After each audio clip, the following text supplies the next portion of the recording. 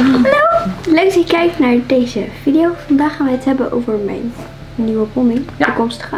Ons lijstje wat wij hebben voor een nieuwe pony. Nou ja, eigenlijk een soort eisenlijstje. Klinkt niet zo aardig. Maar als je op zoek gaat naar een pony is het wel verstandig om van tevoren te bedenken wat je wil en wat je beslist niet wilt. Dus ik ga het vandaag even over hebben wat Tessa wil. Ja. En dan is het vooral handig als je zelf eventjes nadenkt over wat je wil. Wij hebben hulp van Anouk Holleman. Zij is van paardentaxatie in Noord-Holland, maar doet ook aankoopbegeleiding.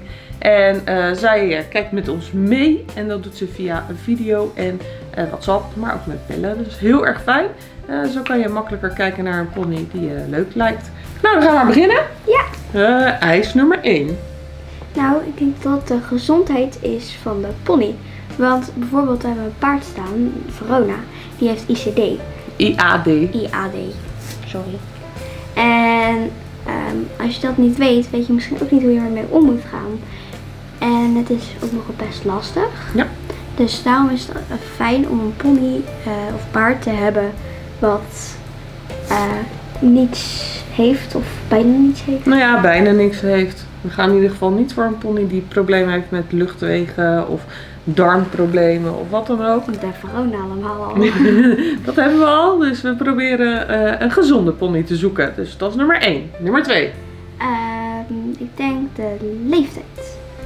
Ik denk de gangen. Oh ja, eerste gangen. Moet drie zuivere gangen hebben.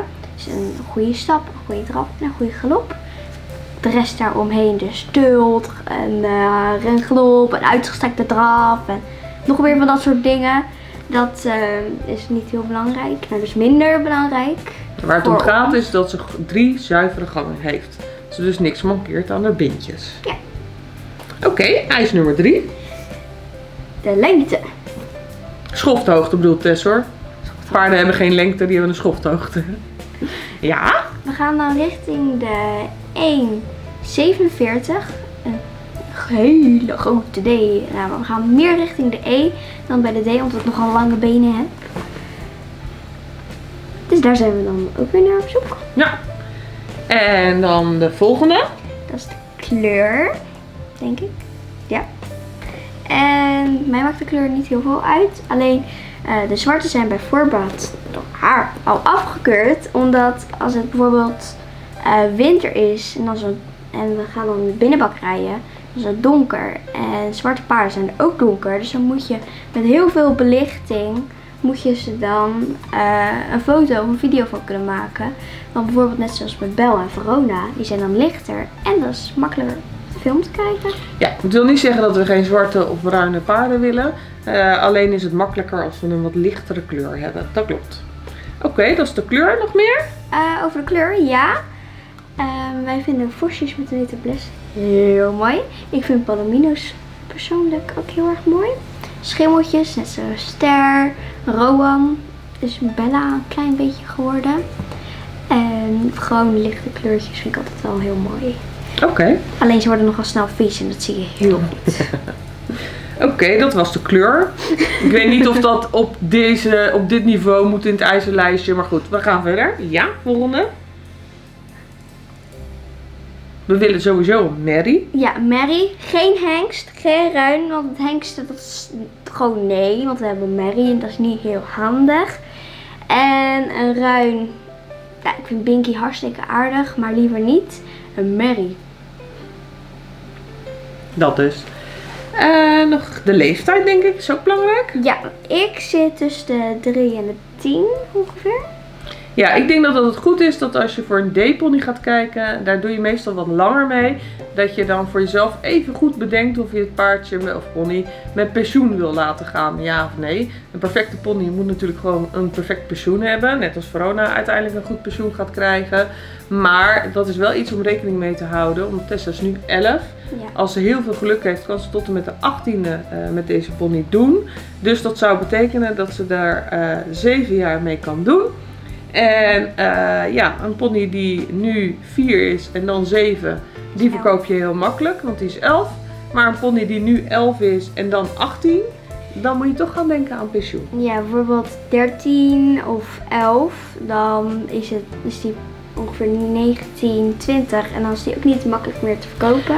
Nou, ik denk dat je ze nog wel verkocht krijgt, maar ik vind het niet zo eerlijk om een, een wat oudere pony nog te verkopen. Omdat ik dan zoiets heb van ja, dan moeten ze weer ergens opnieuw beginnen en dan eh, kunnen ze misschien nog wel iemand verder helpen. Misschien is het zo'n pony. Zulke ponies zullen beslist bestaan. Maar ik denk dat de meeste ponies het veel fijner vinden om gewoon eh, naar een plekje te gaan waar ze nog kunnen blijven. Maar goed, dat denk ik. Of dat echt waar is, weet ik niet.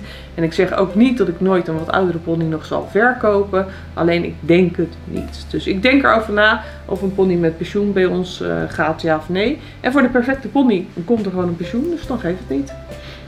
Ja. Nog andere dingen? Mm, ja, de rassen wat ik misschien wil. Ja. Bijvoorbeeld een NRPS, een Wels, een Nieuw Forest. New Forst. Misschien nog een uh, Belgische rijpony. Oh, leuk. Een Eh, Duitse rijpony. Bestaan die ook? Ja, Nee. die bestaat. En Groninger. Oh, nee, is een paard. Dat is een paard.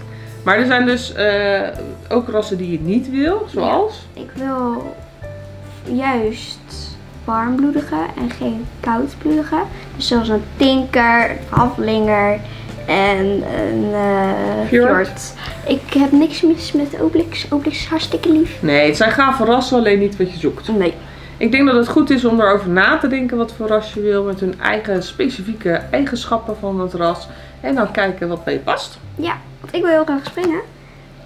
Nou, er zijn ook vast fjorden die prima kunnen springen. Ja, dat klopt. Maar daar zoeken we niet naar. Oké.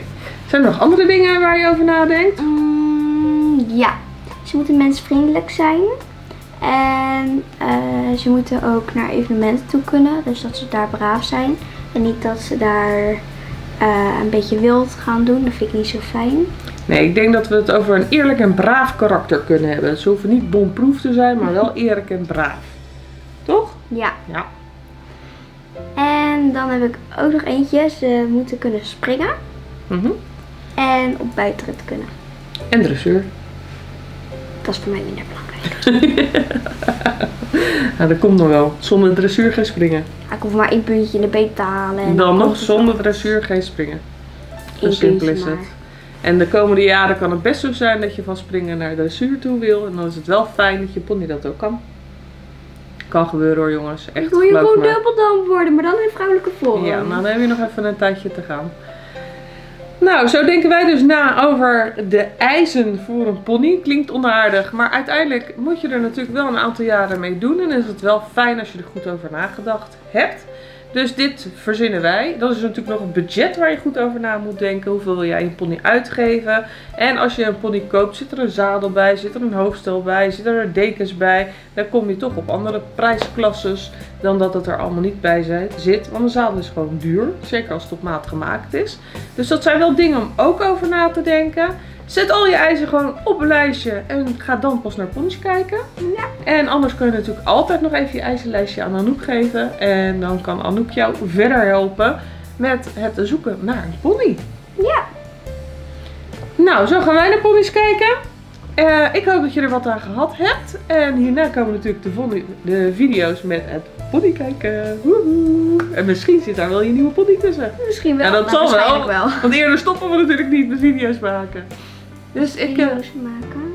ja, over Over die het kijken naar ponies, precies. Nou, voor nu wil ik je bedanken voor het kijken naar deze video. Heb jij nog dingen waar je op let? Laat ze vooral hieronder achter in de comments.